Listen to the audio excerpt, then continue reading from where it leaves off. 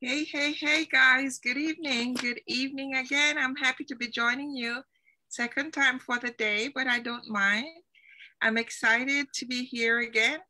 In case you don't know who I am, my name is Evadne, and I'm broadcasting from New York. And I am the founder of the New Market St. Elizabeth Group.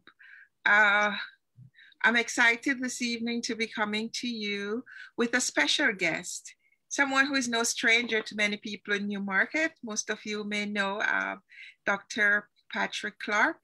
Patrick, good evening. Hi, Radley. How are you? Great. Welcome. Welcome.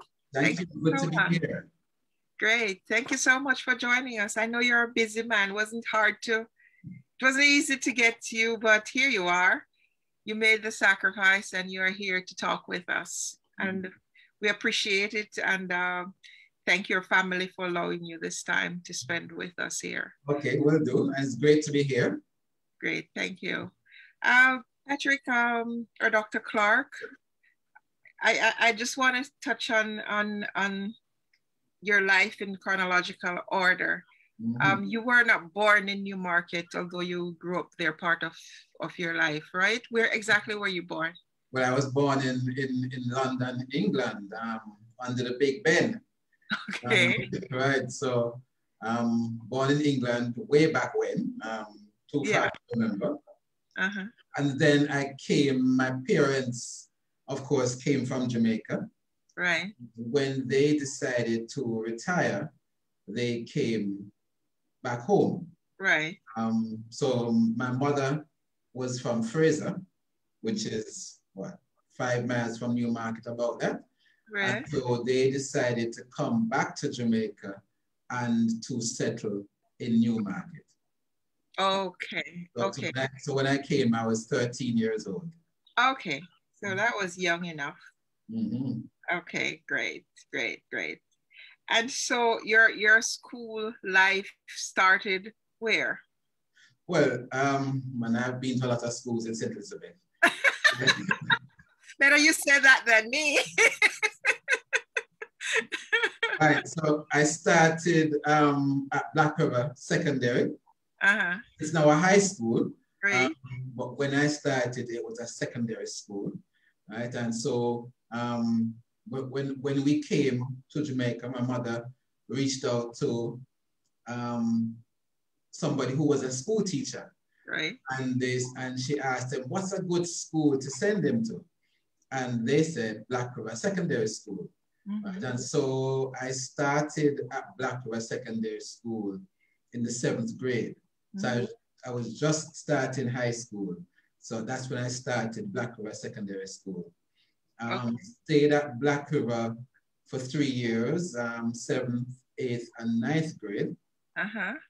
And then I and then I decided that um, maybe it's time for a change. Okay. So I then went to States. So so so stick a pin there. Mm-hmm. What made you decide to um, to leave Black River? Um, how was it for you um, transitioning from London to to um, St. Elizabeth and a school in St. Elizabeth. What was that experience like for you, school-wise? Well, well, the transition wasn't wasn't so bad in terms of schooling. Uh-huh. Um, the the culture shock that I got was that I was coming from um, a fairly metropolitan area. Um, it was a small town in England, uh-huh. um, but a small town in England would compare to probably Kingston out here. Right. And when I came over, I went to a district called Fraser. Uh-huh. Um, now, at the time, Fraser had no light. Um, I, I, went to live with my with my um, my mother's parents, my grandparents, uh-huh. and so there was no light in Fraser. Um, my grandfather's fridge was a, a kerosene oil fridge. Never saw that in my life. You actually, you actually like you actually light the, the fridge, um, kerosene oil fridge, and that's how the fridge is cooled. Right. So that was that was the main culture shock. So no lights, no TV, no computer, nothing at all like that. Um, studies would have been by candlelight in the evenings. Or the lamp, home sweet home. Or by, or by home sweet home lamp. And, um, and just to get to where I could get the bus in the mornings, uh-huh. I, had, I, had, to walk a mile in, in pitch darkness. Um, so lived in Fraser, had to walk to Brighton to get the bus to go to Black River. Um, I remember I had a friend there um, who was supposed to be my guide, um, a, a, boy called Oral. Can't remember his last name, but Oral was a savior. I mean, we right. walked in the darkness to Fraser, to Brighton many, many mornings. Um, it was a frightening experience. So what bus were you catching, pray tell? We were getting, I think that time it may have been the champion bus. So the okay. champion bus would then go to um, to Black River Secondary School.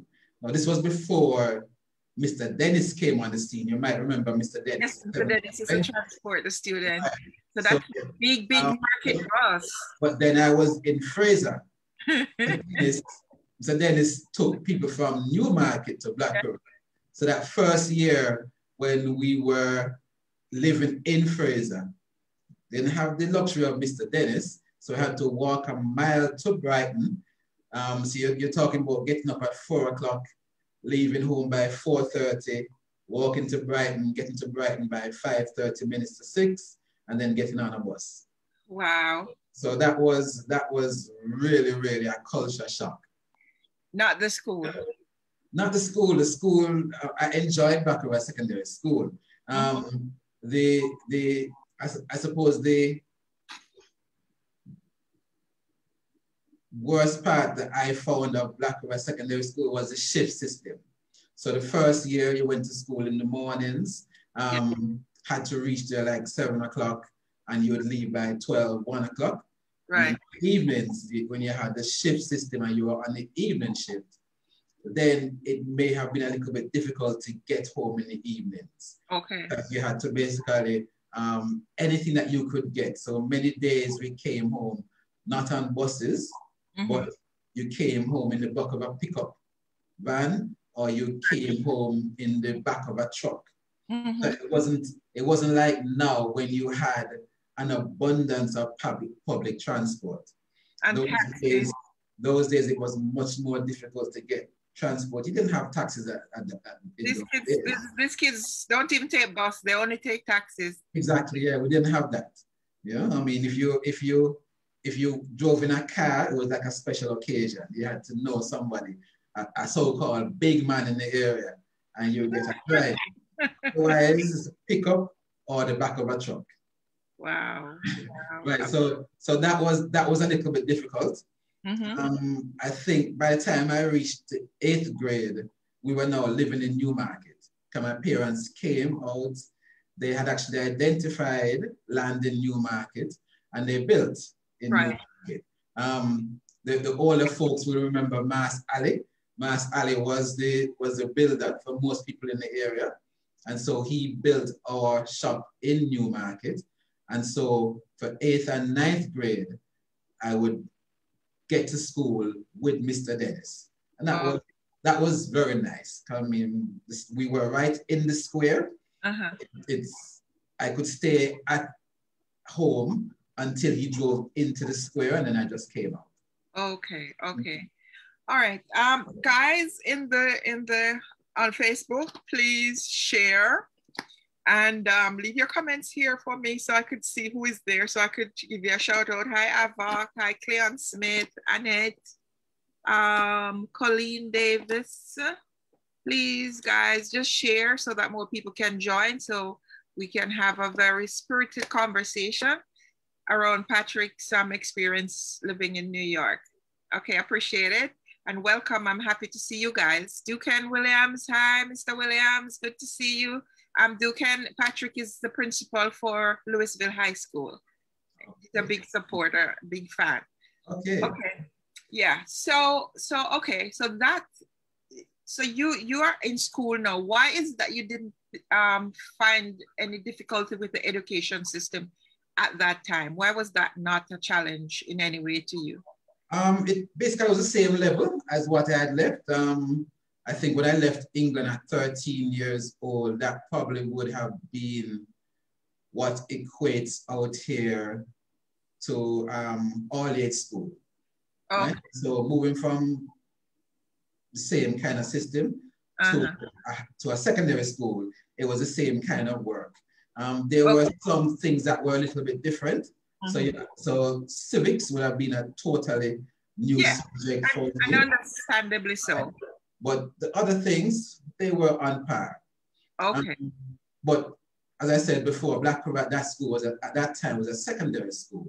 Right. And so they did not offer what a high school would offer, right? And so uh, unlike now where Black River and STETHS are probably on the same level, uh-huh. in those days it was like chalk and cheese. Right. And so right. My, well, my parents at least thought it was important to get me into a high school at that point. But um, it's still good that you found the education system be kind of on par at that stage. Yes, yes, I had I had no problem with the education system at all. I wanted to drill down in that to make sure that it, it, it came out the way it did. it, was, it, was, it, was, it, was, good teachers. Yeah, um, good. yeah, I think the whole experience at Black River was quite good. Made a lot of friends at Black River. I mean, I remember um, people like Devon Gale, we used to call him Baba um, Kenneth Williams, who is deceased now, unfortunately, um, Errol Letman. I remember all of these people, especially from from from the high school areas, yeah. from, the, from the from the sports areas, sports day. Okay. Um, we had had a lot of friends who we used to move around with, who on sports day they would be our heroes. So Errol Letman, um, Delroy Buckner, who was from Cargate. Uh-huh. So a lot of time we, we spent together with these with these people.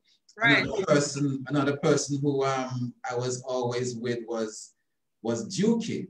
Um, I think Dukey's real name was Roy Cahoon. He's in New York now. Um, you don't remember Dukey, the neatest guy you can see in Newmarket? That was Dukey, Miss Betty's son. Oh, oh, oh, I didn't realize that he, he was Cahoon. he was, he was, I think his name was Roy Cahoon, but everybody knew him as Duke. Okay, I didn't, I didn't realize. I know him as, as, as um, just Duke. Okay, all right. mm -hmm. Okay, okay. So you still, you still in touch with him? Um, not really. I see Duke on Facebook. Okay. He's now a, a, a pastor. Oh, that's wonderful. Yeah, so yeah, he has he has made a totally different career move. I think oh. when he left, he was a policeman, then he became a, an attorney, and now he's a pastor. Okay, okay, that's mm-hmm. nice. Mm-hmm. Be good to hear from him on right. this program. Yes, yeah. So so so you you you were here in Black River doing fairly well as mm-hmm. expected. Mm-hmm. You know, you, you didn't you were disappointed and you wanted more. Mm-hmm. Um, what drove you to want to move on to another school at that point? Well, I think when I when I think about it, uh-huh. I, I, decided that I wanted to do medicine when I was in the seventh grade. Okay. Um, I, I can't remember exactly where I was. I was at home in uh-huh. Fraser on my uh-huh. grandmother's um, veranda. And I said, you know what? I want to do medicine.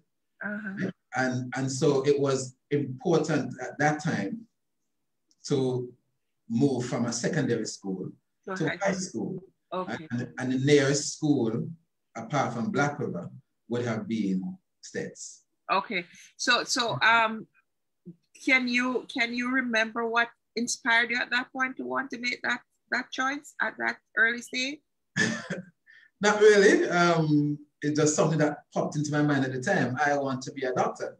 Okay. Um, I okay. can't, I, yeah, fate. it could be it could be something you saw at school too that inspired. Who knows? Who knows?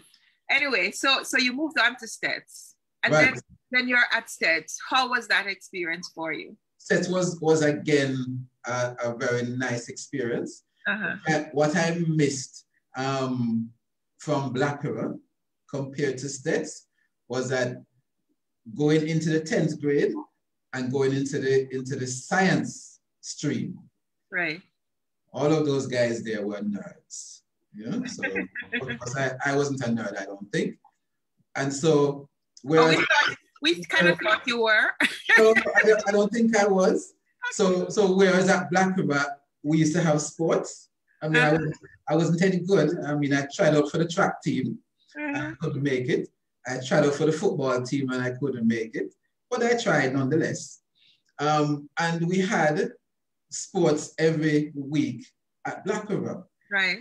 In my two years at STETHS, 10th and 11th grade in the science stream, for the entire two years, we had PE once. And when we went to the PE class, half the people in the class didn't turn up, right? And so that was it.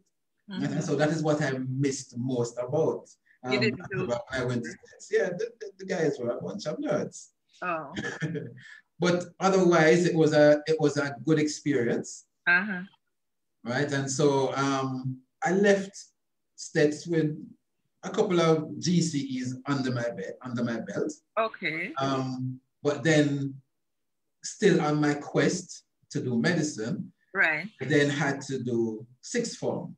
Okay and STETHS did have a sixth form at that time. But it was not a very good sixth form. It was a they had just started um, sixth form. Okay. And so needed something a little bit more. Okay. Right? And so again, the next best option was to go to Munro. Okay. Right. So I so I went from Black River to STETHS to Munro. How long did you spend in STETHS? Pardon me? How long did you spend at STETHS? I spent the 10th and 11th grade at STETHS. Okay, and then right. you went to Munro. Right. Were you involved in any leadership um, activities in STETHS? Or um, just all about the books? At, no, no, no. At STETHS, I became a prefect mm -hmm. in fifth form. Um, was I? No, I, I, I thought I was going to be head boy. Um, but that didn't, that, I thought I was gonna be deputy head boy, but that didn't work out. And I even remember considering trying out for um, the student union president. Okay. Um, that was not the name of it, but it's basically the student union. Um, but then I went up against this, this guy called Donald Gittins, who is now a, a lawyer in Mandeville. and, yeah, and, and, when you talk about somebody who has the gift of gab, yeah, that was Donald Gittins. Mm-hmm. So I had no chance against him. Right. So therefore, I missed my opportunity um, to be the, the, the, the, the president of the student council at that time. Okay. But then I was a prefect in fifth form. Which was good. Mm-hmm, which was good. Right. Mm-hmm. So so you went on to Munro for your sixth I went to Munro for upper and lower 6 mm-hmm. right? And again, I did I did the sciences.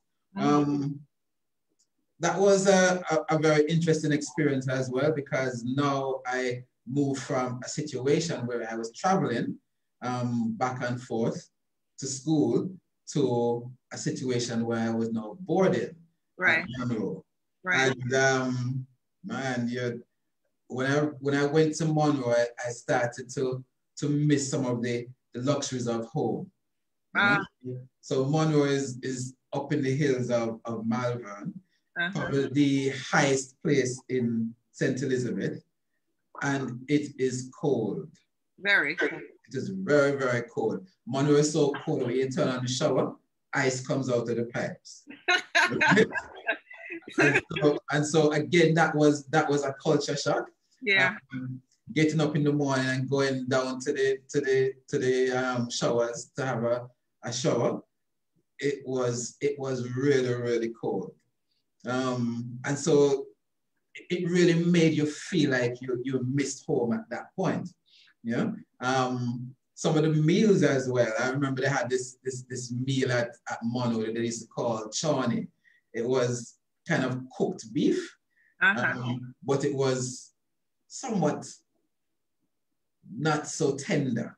And so it was difficult to chew. And so they used to call it chawny beef.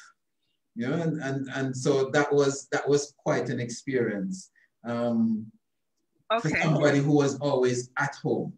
Uh, mm-hmm. Let me ask you this, Patrick. You mentioned uh, uh um, Prospect College in your in your bio.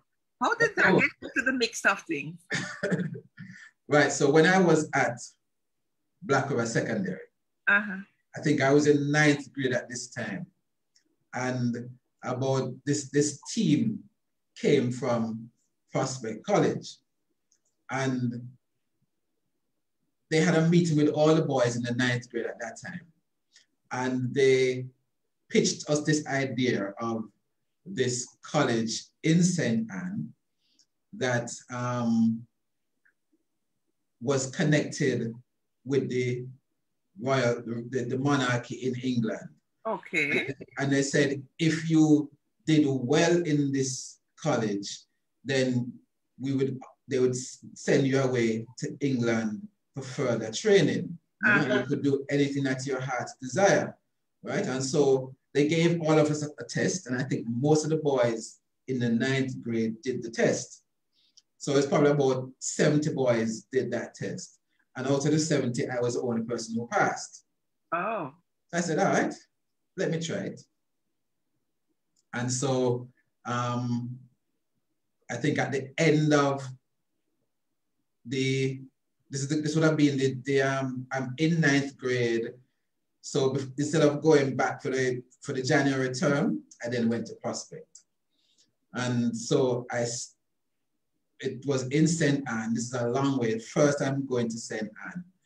And when I reached to Prospect, it is at that time that I'm finding out it is a paramilitary school. That's what I was going to say. How come I never hear about this place and, and what, what became of it? This is something that they, they, that, that they forgot to mention when they were telling us about all the good things in the school right? And so when you when you reach the school and you look at their their honor board, every single person on their honor board is a high ranking person in either the JDF or the JCF or some other military group around the around the world. Wow. Right? And so it really is a paramilitary school. And um, again, that was another culture shock, you know, because you're basically were taught to fend for yourself. Uh-huh. Um, the school was a totally self-enclosed school. So you had to, for example, on a weekend, you would have to go out and look for coconuts on this plantation because it's on a big, big plantation. Um, so you would have to go out and look for coconuts on a weekend. And then when you carry those coconuts back home, you'd have to grate the coconuts and you'd have to make oil from the coconuts. Right? Wow. If you collect 10 coconuts, that's your job to provide the oil. Um, we had to cook for ourselves. Um, we had to, the, the good thing was that it, it taught us discipline. At the end of it, you mm-hmm. became very, very disciplined. They taught us how to play a musical instrument and they taught us how to march. So Did you learn, things, learn to play something? I was learning to play a bugle. Okay. But I didn't stay long enough to master it. Okay. Um, I think after six months, I said, no, I'm, I'm not, I'm not going back to this school. In fact, um, when I finally got home was when they were giving us the Christmas holidays. Now, because it's a paramilitary school, you can't leave the school empty because you need some boys to run the school. So half of the school went home New Year's Eve, well, Christmas Eve to New Year's Eve. And then half the other, the other half went home on New Year's Eve. So I was in the group that went home New Year's Eve. And you could not leave the school until 10 p.m. So I'm leaving 10 p.m from Ocho I've never been to Ocho in my life before, right? Um, on New Year's Eve. Really have no idea where I'm going. I, I got a bus to um, Montego Bay This is like no, probably like midnight. Got another bus to Whithorn, and I'm at Whithorn at one o'clock in the morning. You can't get any transport. I have to wait until I had to wait until daylight. Oh my daylight God. comes, buses start to run again because you know that time. This is probably like um, 1980s. Mm-hmm. 1980s. You can't get no transport at one o'clock. That's, through, that's through the hills. Right. Up a truck. yeah. So so that night I spent sleeping in Whithorn Market. Went got got to go home the following morning. Reached home probably about nine o'clock. Um, so I was tired. I had not bathed for more than 24 hours. I was extremely hungry. You can't get no food at Whithorn at 2 o'clock in the morning. Wow. And so, I mean, by the time I reached home, I, I ate off two tins of sardine and half a loaf of avocado bread. Uh-huh. And I told my parents I was not going back to that school at all. it was an interesting experience, Did, did, but it was. what were their thoughts? Hmm? What were their thoughts? You know, what was what was the, the feeling at the time? You should go back or not? No, they never they never forced me. Um, they they accepted what I said. I think I think um, seeing me come home and I lost a lot of weight. I probably lost like 30 pounds. Um, seeing me come home at nine o'clock in the morning um, after leaving um, Ocho Rios from like 10 o'clock the night before was kind of a shock for them. So when I said I want to go back to Black River, it wasn't a problem. They said, Okay. all right, Wow. your way. Wow. Does that school still exist? It does. Um, and I have been back to the school. Well, Prospect is, they have, they actually have tours in the school. So it's a big plantation and it's kind of a tourist attraction. So you can go and you can tour the school, you can tour the chapel. They have a lovely chapel. And um, I think at Christmas time, they even have a carol service that is Okay. put on by the boys in the school. So yes, it, it is a school that um, is still going on. And in fact, they have a lot of graduates who are the top in military organizations or in the JCF. Okay. Mhm. Wow. I had no Yeah. idea about that. Yeah, but since I had no intention of going into the JCS or the JDF, yeah, the, I, I like the discipline I got from it. Um, and I think it did make me a lot more self-sufficient than I would have been if I did not go. Yeah. Um, So yeah, you needed that- that. Mhm. You needed that. It served its purpose. It did it. It did a service purpose. So, so do you think that your success in becoming a doctor after that had a lot to do with your your little um time spent in that school, though? Um, I think I think every every facet of your life Uh-huh. helps you to reach where you're going. From, Mhm. so from that point of view, the the increased discipline probably did help some. Okay, okay. You've had some back and forth with trials and failure, but you seem to have always just brush yourself off and keep going. Right, right. In fact, when I came back from Prospect, um, no, this is this is after having gone through six months or more of paramilitary training, where, for example, they would wake you up in the middle of the night, and then you had to go and you had to be marching, you had to be playing the bugle. So when I came back to Black River, I actually used to round the boys up and teach them how to march and that kind of thing. You know, so it was it was it was it was really interesting. That's cool. That's cool. Mhm. That's pretty cool. Um, well, things happen and they happen for a good reason sometimes. Exactly, exactly. Mhm. That, that that that was that that, that little um point probably was a good good thing for you at that point. Mhm. Okay, so um you also you also failed to, to mention that you were part of the school challenge quiz at some point. Oh, when I went to Munro, right? So so States had a school challenge quiz Uh-huh. team, but at that time, it was just a fledgling team, right? In fact, I remember one year, um, STETHS went to the school challenge quiz and they got through to the second round. Uh-huh. And so that was like a big, big deal. They won their first match. And when the, the members of the team came back, it was like they were national heroes in the school. You know, it was really a really, really big deal. Mhm. Um, going to STETHS, going to Munro, however, it was a little bit different. So I left STETHS um, after having done O level, went to Munro in sixth form, and I said, okay, let me try it for the school challenge quiz team because I consider myself somewhat versed in, in general knowledge. Right. And so I decided I'm going to try it for the school challenge quiz team at Munro. You know, now bear in mind that Munro has had a school challenge quiz team for years and they have one school challenge quiz many, many times. Uh-huh. So I said, all right, um, nothing beats a try. So I went and I tried out for the quiz team. So Uh-huh. I'm in the room now with about 20 other boys. Um, and it is practice. And the quiz master is asking everybody questions. Uh-huh. And when I look around, I can't answer any of these questions.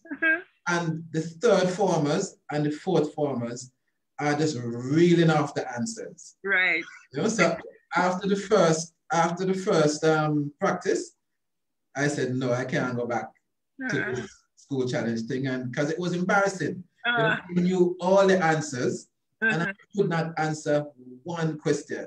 Right. So, so I became a cheerleader. I did not go back to the um, Okay. practice sessions at all. okay. Mm. You didn't you, you choose not to dig into that one. Nope, Just let it nope. go. I thought it was futile. Yeah. Just like just like the athletic um part. Mhm. Did you really want to to be an athlete? Like Well, yeah, I, I did. I mean, I, I tried out um, at the at the hundred meters. uh-huh. Always always came fourth and fifth. Ah, Um, I tried out for the football Okay. team. okay. Um, that wasn't much of a success. I tried out for the cross country team. Uh-huh. Um, yeah, that was that was a no. Well, Dr. Clarke, we can't give you an award for trying. Yeah, I, I did try for all the teams. you did you did your best. You tried. I did, I did. And at some point, it just occurred to you that all of these things that you're trying or you want to be you're good at, you're not really good at them. And so you you you you sought to focus on what you were going to be able to achieve, hmm the thing that you saw possible for you to achieve. Right. What gave you that kind of maturity at that point to just realize that hey, let go of these things that you're trying that you want, that all this star show that you're not making it in, and focus on this thing that you can achieve if you focus. What made you kind of just I never, I, um, I think once you make up to your mind to do something, Mhm. you must just say to yourself that failure is not a possibility. right? At no point, when I decided in the seventh grade I'm going to be a doctor, at no point did I say to myself, I wonder if I can really do it. It Uh-huh. was just, it was just a, a done deal. Right.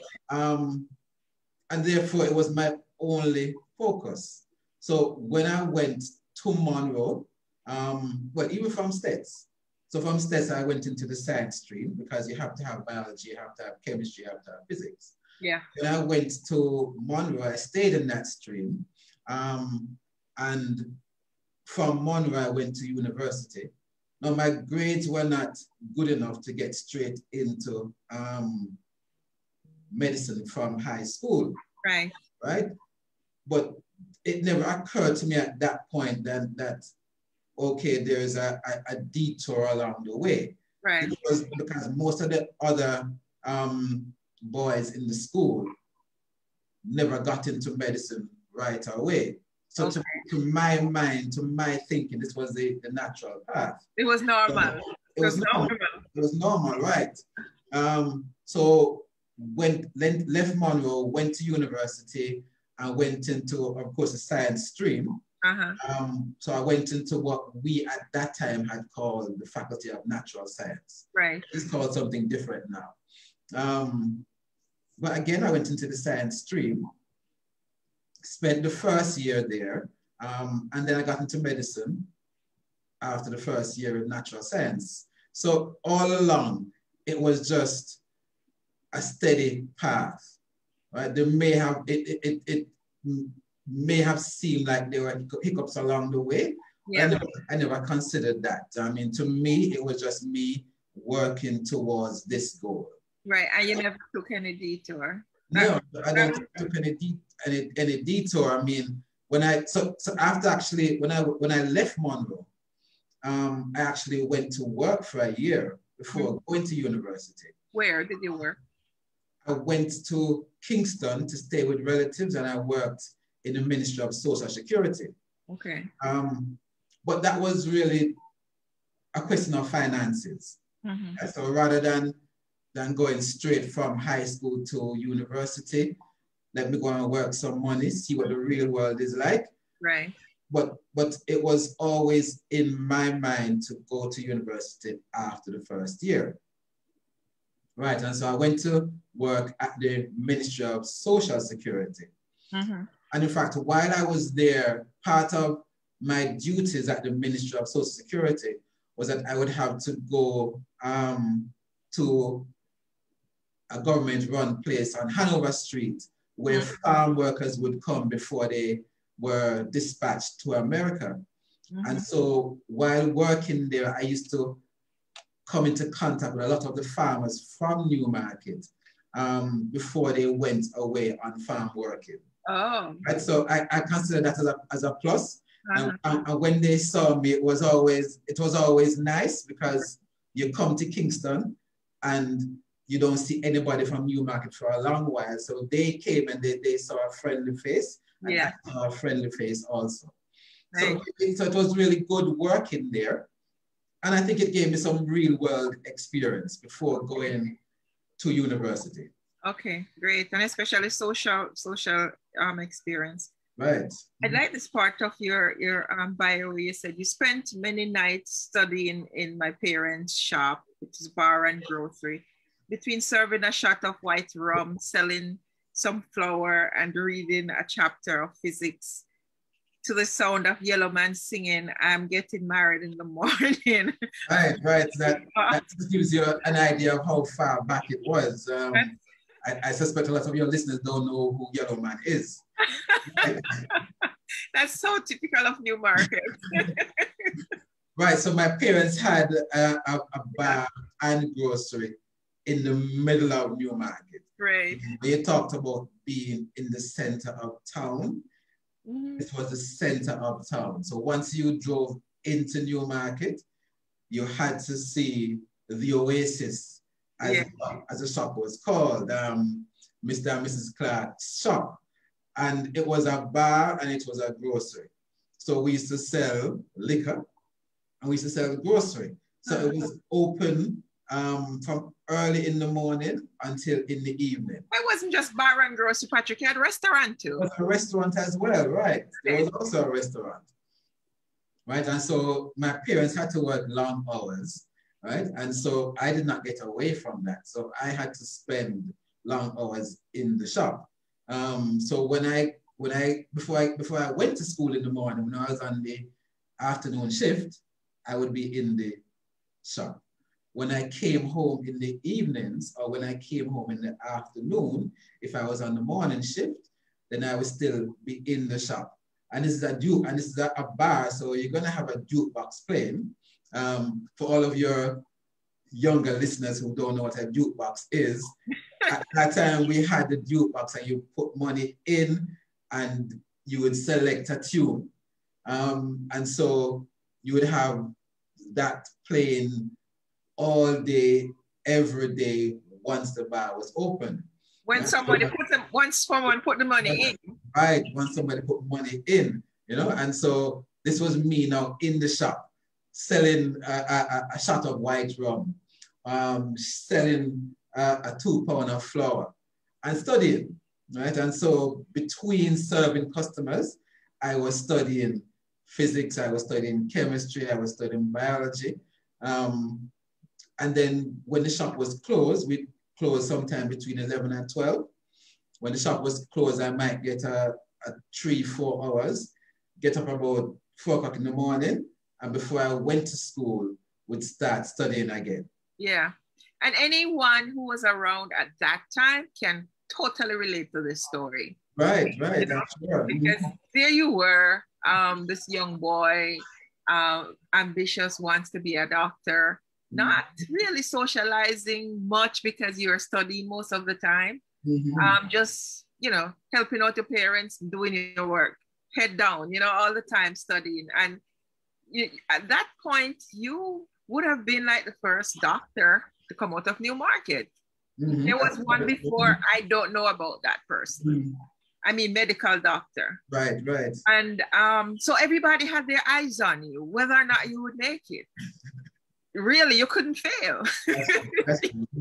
no matter how many times you you you fell off, you'd have to get up and go back on that horse because mm-hmm. the whole community had their mm-hmm. eyes on you mm-hmm. and and had you as this person who is going to be the first doctor from this small small little place and that must have been a lot of pressure on you although from what you're talking since you started i don't get the feeling that your parents pressured you at all no no my parents yeah but um, i told my parents what i want to do uh-huh. and at no point did they did they say um, I don't think you have the brain for it. Um, um, we don't have enough money for it. Right. It was just, it was just a given. Right. That this was my pathway. You know? Did I you feel I, any personal pressure from the community uh, about around your career? Or you weren't talking with them enough for it to bother you like that? No, no I felt no pressure from the community at all. Okay. Um, I think some of some of the, the older heads in the community, um, I might have discussed it with them. So for example, um, Lester, who also had a shop across the way, Lester Mirage, uh-huh. um, he probably would have known about my, my um, proposed career paths. Uh-huh. Um, and I remember that Lester was actually the, the he was a businessman. And apart from my parents, he, would probably, he was probably the only businessman who I knew um, well. And he was actually the person who was the guarantor for me um, to get a student loan um, okay. to go to university. So he would have known about my plans. I'd have probably discussed them with Mr. Cummins, um, with a couple of the older folks in the area. Mm-hmm. But, there, but, there, was never any any pressure. Mm-hmm. Mm-hmm. Wow, wonderful, wonderful story, Patrick. So um, later in that, I, I, I don't know, I became friends with the Clarkes at mm-hmm. some point, but I don't think it was from that early, early, early days. Um, maybe after you left, no. Probably after I left and I came back. Mm-hmm. Yeah, mm-hmm. but I don't, I don't think it is as far back as when you graduated university because I, I went to your graduation. It would have been, I probably became friends with them while you were away. Mm-hmm. And so you used to come there and yeah i used to go around there and help to serve stuff as well and play music and do all of these things and help out mrs clarke she was the sweetest person ever. Yeah. you know? And even and even graduation uh, uh, uh, that is the that is the one of the good things about coming from a small community. Uh-huh. I remember when i was graduating from university yeah. but my parents had a bus yes and so the entire New Market for the graduation. Yeah. And when I went up and, and they called my name, you could hear this loud cheer around the back. You know, it, it was it was something else. I think it, it is like, it is things like those why it's good to come from a small community. Can, can, you, can you won't get that kind of that kind of camaraderie feeling. Right, right. A big city. It's yes anonymous and we were all friends and family, right? We're so proud of you. You know, finally Patrick is a doctor. We had a doctor from the community. You know, mm-hmm. never mind you never work a day there. you know, It's just the, the right. thought that you finished mm-hmm. and everybody's just proud and embracing the idea that and, mm-hmm. and I think we were pretty much aware of the struggles. Some with we we all didn't know the details, but knew that there were struggles in between school when you had to stop and come back and be there for a while and then leave again.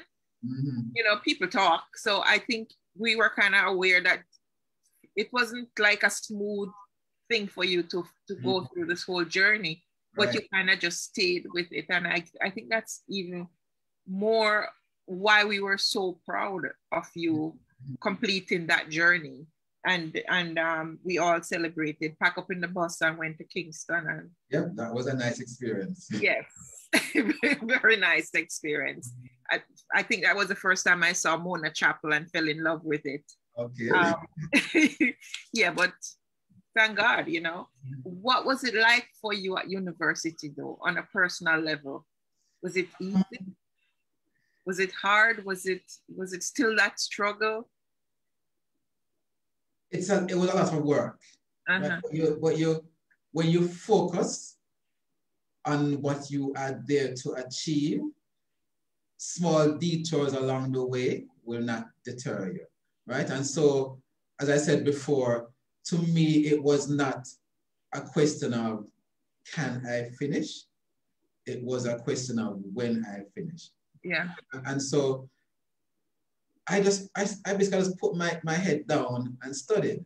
Mm-hmm. Um, it never occurred to me that I could fail any of the exams. Right. As, I, as I tell my children today, if you study for an exam, right, if you work, you cannot fail. Mm-hmm. Right. So to me, it was just a question of putting my axe to the wheel and persisting in what I was brought here to do. Mm-hmm. Right? So, the, so the whole question of failure never came in.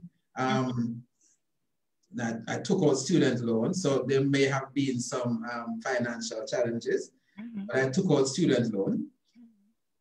And even then, I mean, if I if if I tell somebody now these days what I borrowed, they would be totally shocked. In mm-hmm. those days, it was a lot of money.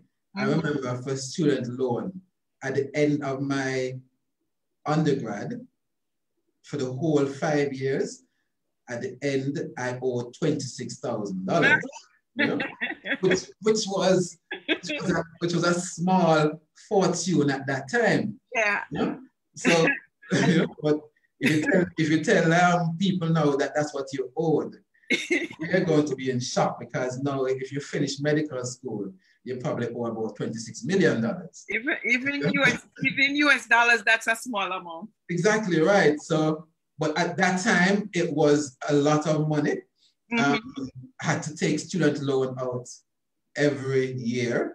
Mm-hmm. Um, living on campus was a was a big deal. It was it was expensive, so it was convenient, but yeah. it was expensive. Um, and then for the last two years, I, I lived off campus. Okay. And even that was was met with some challenges. I mean, getting a bus um, would incur in, increase cost. Mm-hmm. And so you had to basically watch your budget budget very careful at that time. Right, right. Mm-hmm. And somewhere in there you met your wife. Right. I, I my, my wife was actually it was actually the sister of a friend that I met right. in medical in, medical, in, in natural science. Okay. Right? And um, I remember towards the end of the first year, uh-huh. um, we met, and I think the chemistry was was instant. Wow. Um, and so the good thing I, I felt about that is that we became extremely good friends. Okay. Right? So it, we probably started going together after about two years. Mm-hmm. I remember, I remember the night exactly. You know, we had gone to see a Freddie Jackson concert. Okay. So I just I just started working. Um, Freddie Jackson was big those times. You know, we, you talk about Freddie Jackson, the only other person who probably was bigger than Freddie Jackson would be like Lionel Richie. Mm-hmm. Right? Um, these young people don't know about Freddie Jackson, but you had Freddie Jackson, you had the Manhattans. So when all those guys were coming to Jamaica, it was a big deal. I remember the night we went to a Freddie Jackson concert. You know, we were in the taxi. I was bringing her back home, and it was that night that we had our first kiss. I remember the exact night, and I said to myself, "Yeah, this this this, this woman is going to be my wife." Oh Lord! Um, so it was it was kind of like when I said I'm going to do medicine. Uh-huh. There was no if and but about it. Just when? This was this was um probably like 19. I just finished medical school, so it's probably about 1990. It was like right. December, December 1990. Okay. And at that time, we decided, well, I decided that she was going to be my wife. Oh, wonderful. I don't know if she had any say in the matter. She might say otherwise. And right? she's, a, she's a nurse, right? She's a nurse. She's a nurse lecturer, so she doesn't work on the wards anymore. She teaches nurses. Okay, that's right. wonderful. Mm-hmm. Okay. Right. So yeah. we got married two years later. Oh, mm-hmm. Oh, wonderful. Right. So we have now been married for almost 30 years. Whoa. Mm-hmm. 30 years next and how many kids? Two, two children. Okay. Beautiful girls. Okay, nice. Mm-hmm. Who I must say have not given me any trouble. at least not yet. Okay. Oh, nice, nice, nice. Patrick, you know, the, the, the good thing about um, telling your story mm-hmm. and talking about this journey is how much of a difference it will make, especially to young people. Right. Um, because they they uh they know the Clarkes. They had a shop. They had restaurant in there too, and residents upstairs. They were living abroad. Everybody mm-hmm. would think, okay, so these are rich people, you know. Mm-hmm. Um, so so they could afford everything that you you wanted and you know whatever. Mm-hmm. But that was far from the case. Huh?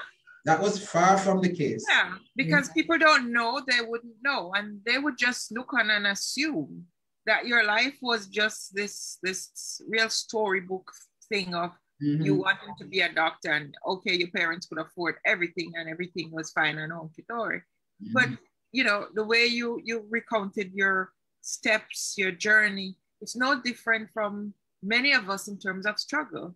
Right. It might have been different type of struggle, but it's still a struggle. You, mm-hmm. you still had to do, you still had to take loan, you still had to, you know, go to, with, to work with the university. Right. These things you had to work while you're mm-hmm. studying, you failed, you going back, you, you know, mm-hmm. all of these things. So it serves the purpose of telling or reminding these young people that it's not the journey it's what at the end mm-hmm. and therefore you have to stick with it if you right. mm-hmm. you, you, see have have, you have to have your goals in life yeah um and no matter what background you come from mm-hmm. you have to know within yourself that you can make it right success is not only for those who are born with a silver spoon Right. I mean, many people don't know it's silver spoon. Exactly. Right. Even if you think they do, it's that's mm-hmm. not the case. Exactly. Mm-hmm. Right. So so it's important that you know what you want and just go for it. Just focus. It is. It is. It is. Once you uh, once uh, once you make up your mind um, and you chart your course, right? You keep at it. You can always make it.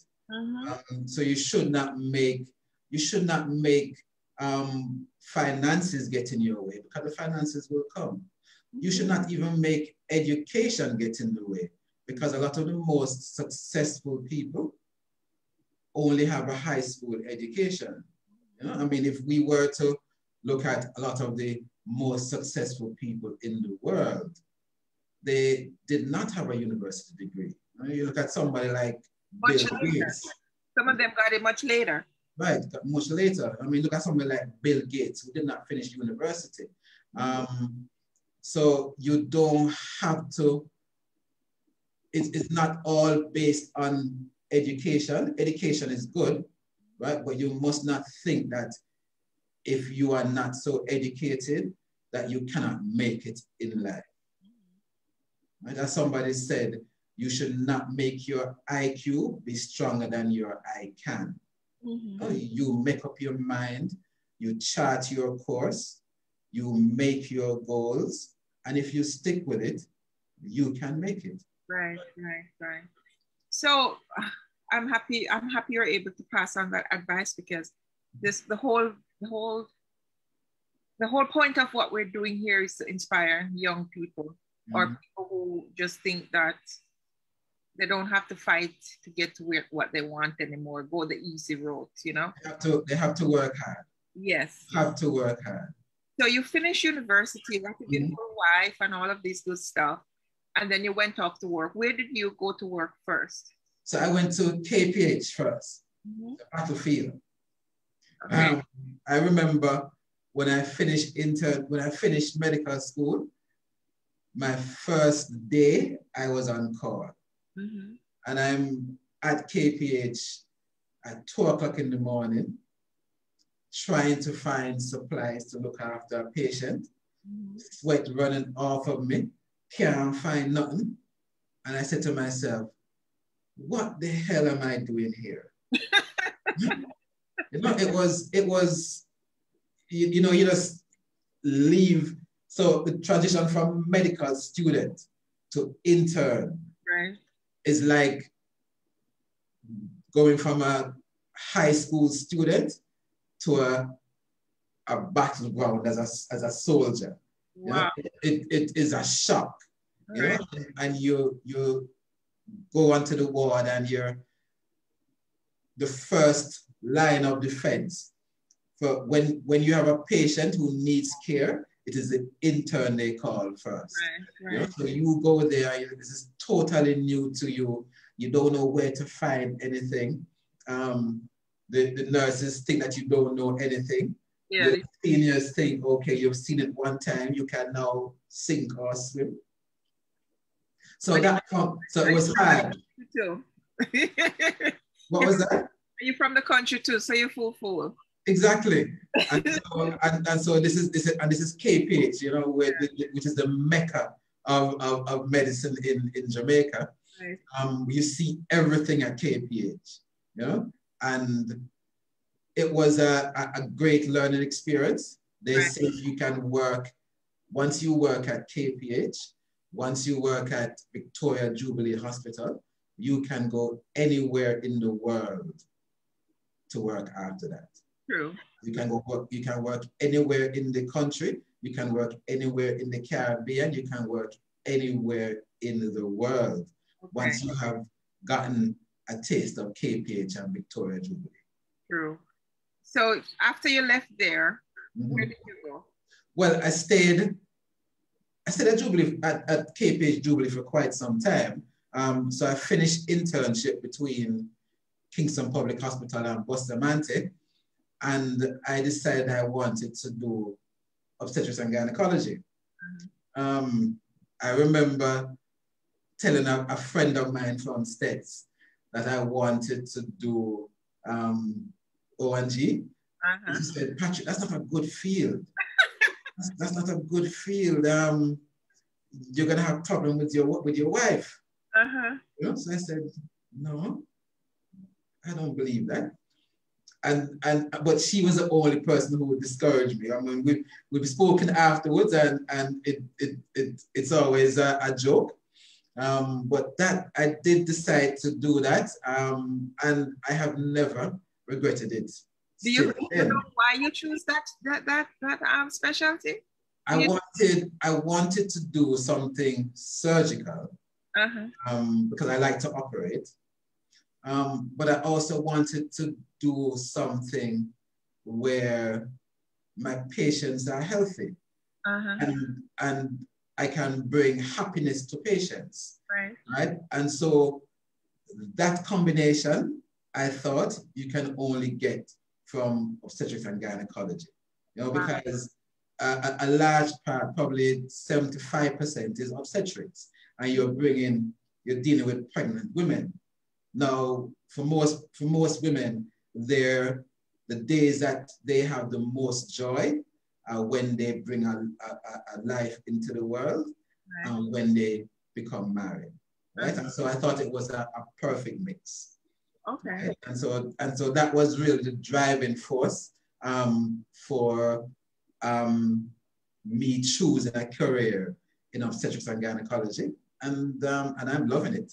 Yeah, you certainly yeah. have the patience and, and the demeanor someone mm -hmm be mm. a good person in that field. Right. It's it's it's it's a lovely field. Um, it's it is it's time consuming. Um, it is hard work, and especially as a junior person, you spend a lot of nights in the hospital. Uh-huh. Um, babies have this thing that they like to come at night.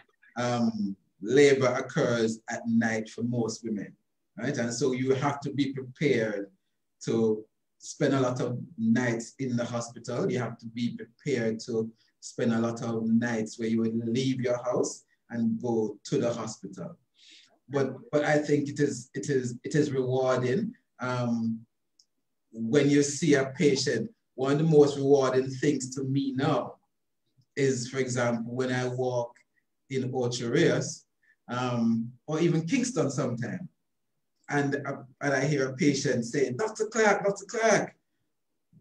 And when you stop, they say, oh, you delivered my son many years ago, or you delivered my daughter. In fact, I was in New York one time.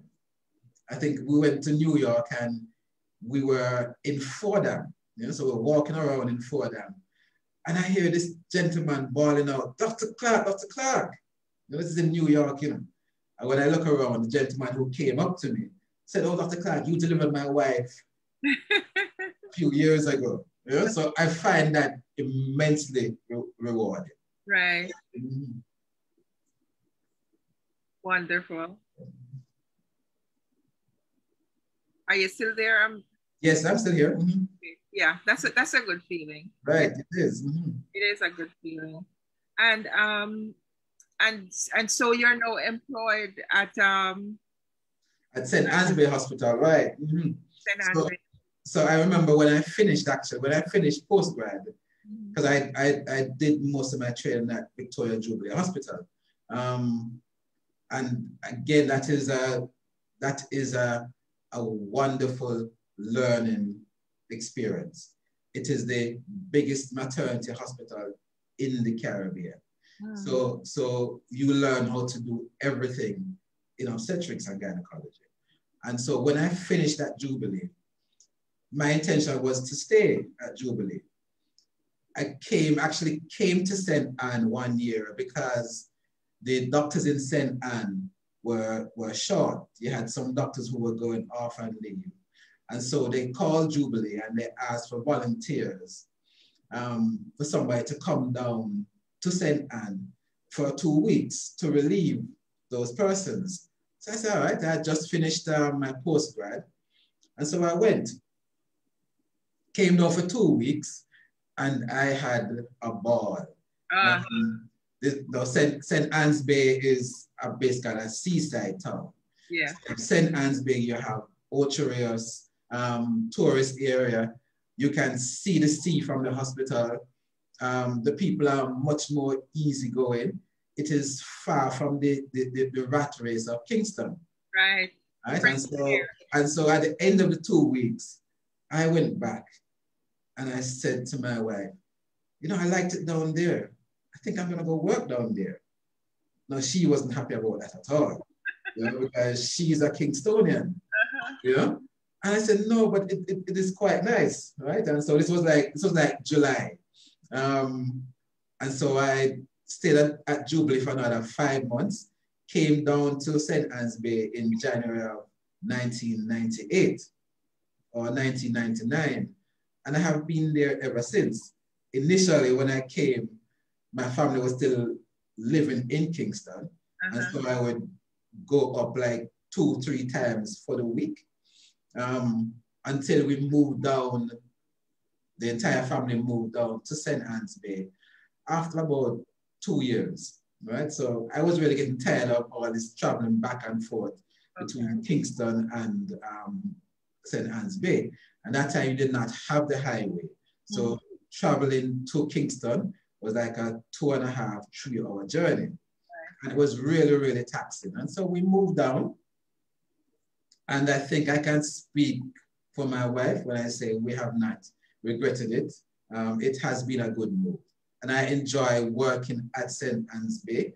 It, it kind of reminds me of, of New Market because it is a, a small hospital. Right. right. So the same small community feel that you got from New Market where everybody knows everybody else is the same kind of feeling you get from working at St. Ann's Bay.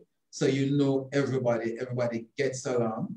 Um, and, and the patients know you. You, I mean, I cannot walk in Ocho or in St. Ann's Bay without seeing several patients who know me, right? And and and so I, I like that that small um, that small town feel. It, it really is nice. That nice little village. Right, it is, yeah. Mm -hmm. It does it does have its disadvantages sometimes. Um, I remember I remember um, a couple years back, well, like 10 years or so, I was when my children were going to, um, to prep school.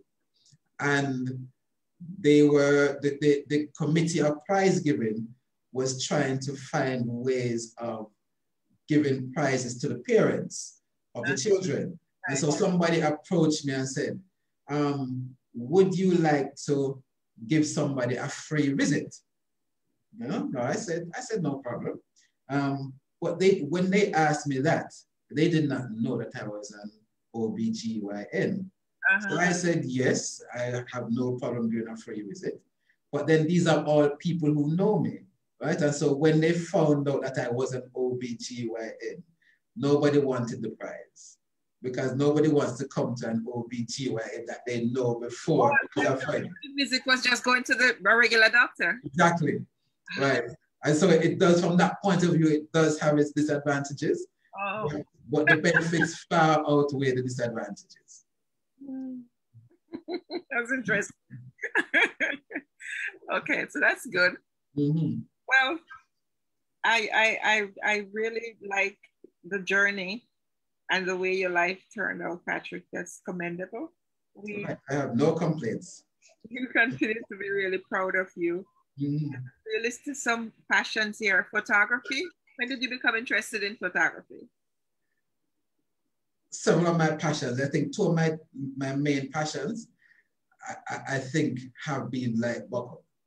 Now, as far as photography is concerned, at some point when we went to, I was tired of, I, I got tired of going to prize givings mm-hmm. um, for my children mm -hmm. and not being able to take pictures. So I'd have to I'd have to rely on the professional photographers to get a picture afterwards. And oftentimes these pictures were not to my liking.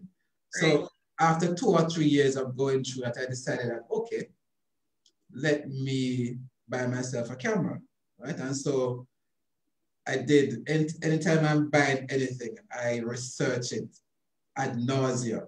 You know, so I went and I bought up all these photography magazines I spent many, many hours online searching for the camera. And in all of this, I realized, well, oh, wait, this, this, this photography business is, very interesting. You know, it became so interesting to me that I actually stopped reading a lot of medicine and started reading a lot of photography. So what camera did you end up buying at that time?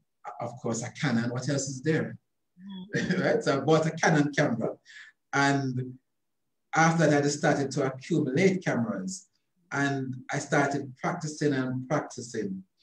And, I, and then I started doing functions. I would go, for example, um, when we had the prize givings, I would take pictures and people would see the, the, the pictures and say, these are really good.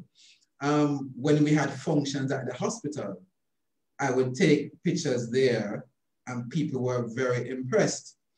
And I, I think um, what got me really, really into it was when a doctor approached me one time and said, Doc, can you take some engagement pictures for me? So I took the engagement pictures. We went to um, this park in Ocho took the engagement pictures. Um, a real nice engagement shoot and the pictures were, if I do say so myself, very, very good. After she saw the, the, the engagement pictures, she came back and said, Doc, can you do my wedding? So I said, but um, yeah. I wasn't really, I wasn't really ready for that. You know, I mean, this is a wedding now in Kingston with two or 300 people at right. Kansas. And so I, I declined wedding at that point, you know, but it got me thinking, right? And so I started doing even more research, practicing even more. And then after that, several people asked me to do their weddings. So in the end, I ended up doing about three or four weddings as the solo, as the main photographer. Nice. I, I, I, think they came out quite well.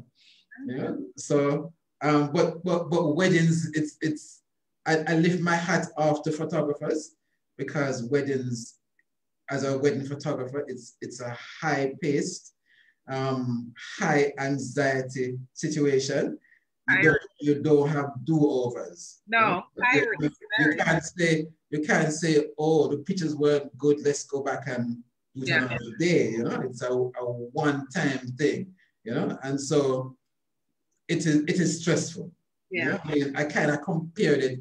It's it's some it's it's almost as stressful as doing a delivery. Yeah. It, it, it is high stress. I, I lift my hats off to wedding photographers um, because I become so busy now, I, I'm not really into it anymore. I do intend to go back into it when I retire, but it probably will not be wedding photography. It's going to be something less stressful, like, for example, landscape photography or something like that. But you never know. I, I love I love weddings. Um, Portraiture never know. Um? Portraiture is good. A lot of people are into that now but I find that boring. yeah, I like I like the fast paced stuff. You know, I mean, I, I I loved it. I mean, yeah, your heart was boom, boom, boom, boom during the weddings, and you you you had to get that shot, and you had to right. move quickly. You had to pose the bride and pose the groom. Uh-huh. So I like the excitement of it, but it is it it, it is very very stressful. Okay. Mm-hmm another growing field, I think, is, is real estate. Um, no, no, no, not real estate. Um, personal. Hmm? Um, not real estate. I, I'm not so much into real estate at all. You want to do the outdoors? Oh, you mean, oh, you mean photography? Mm-hmm. Um, not real estate photography, but landscape photography. So I'd like to go to scenic areas okay. and and and take pictures. Um, I suppose with COVID, that has kind of put a spoke in my wheel because I haven't been able to travel. But I used to like when we used to travel to, to the States and you would go to scenic areas and you would take pictures and that kind of thing. Okay. Mm-hmm. Wonderful. And you like public speaking as well? Um, I'm trying to get into public speaking. Okay. Um, I think this is a this is an interest that probably came about not so long ago, um, probably three, four years ago. Um, and again, I, I, I, think I probably would be further along in it if it wasn't for COVID. So it is, it is not a, a long time um, pastime of mine. I think that um, given the chance, I would have a lot to offer. My focus on public speaking. I, I want to be a motivational speaker um, because I think that I like what, for example, what Martin Luther King said. Not everybody can be famous, but, but everybody can be great because greatness comes from service. Right. And so I think having achieved what I have um, with, with age comes wisdom. Right. And I think I am now at a point where I think I can impart a lot to the younger people. Now, here's a good stop. Here's the good news. Start right now. Just Start right now. Right. Yeah. There. Mm-hmm. Uh, you have influence and you can use that influence right from tonight.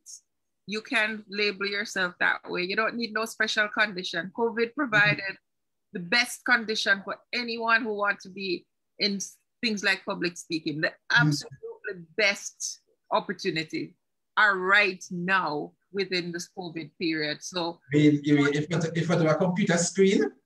Oh, yeah.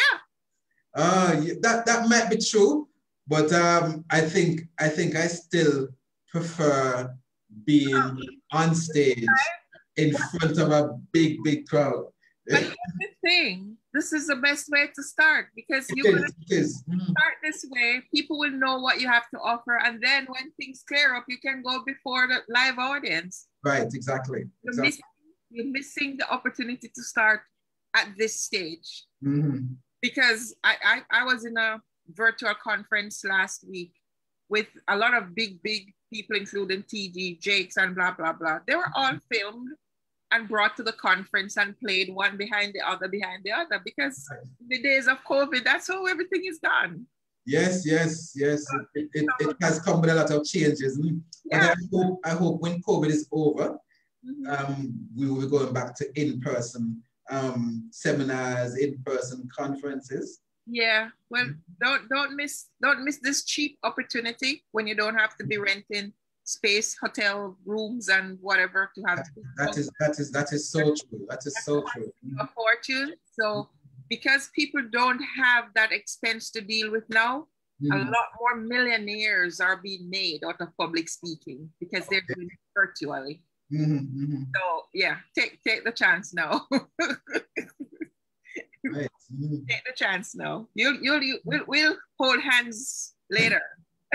Sounds good. Sounds good yeah but I'm, I'm i'm i'm i'm sure you will have a lot to contribute to that like anything else that you have done which which which usually yield great excellent um rewarding um finishing for you. So so you will do well in that like anything else because it's right. Really intense when you when you put your mind to yes i think focus is key. Yeah. once you focus on something right. achieve it.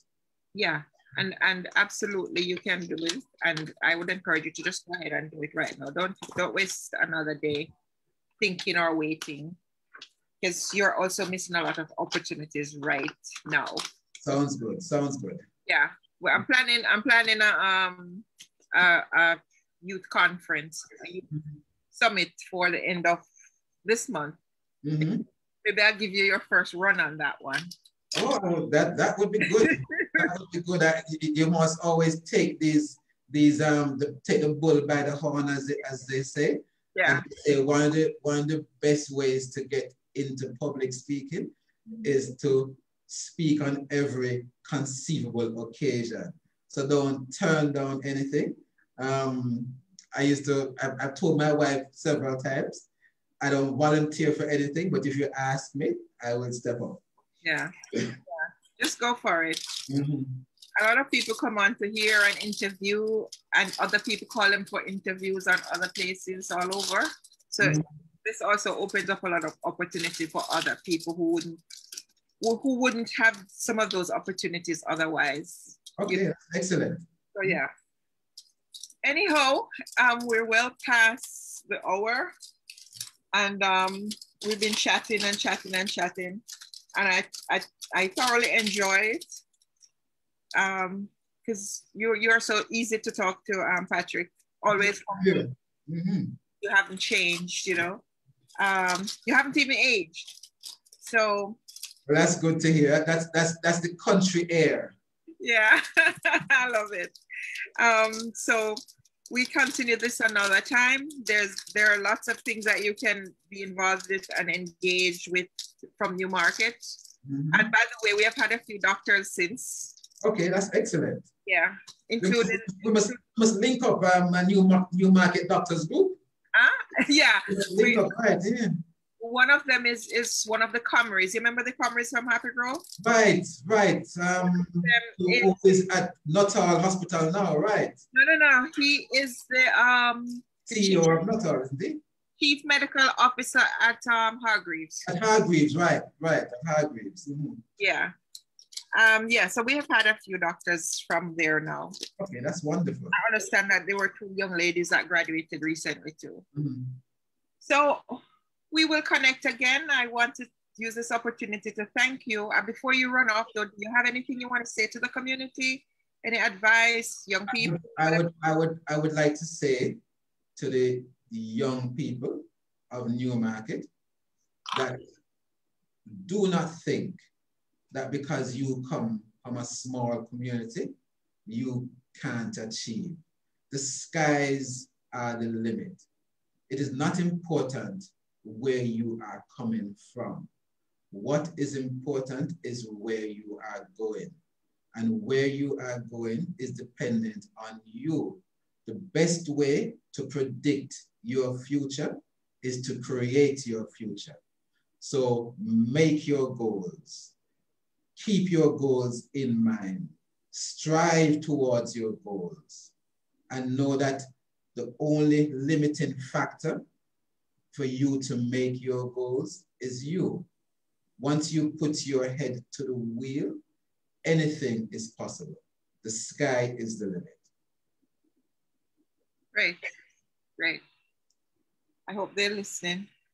We just have to keep going, keep doing it, keep at it. Mm -hmm. Wonderful to spend time with you, um, Dr. Clarke. Thank and you. Thank you. And mm -hmm. really enjoyed this and hopefully we'll do it again soon. Have a blessed night. And you too. Thank you very much for having me.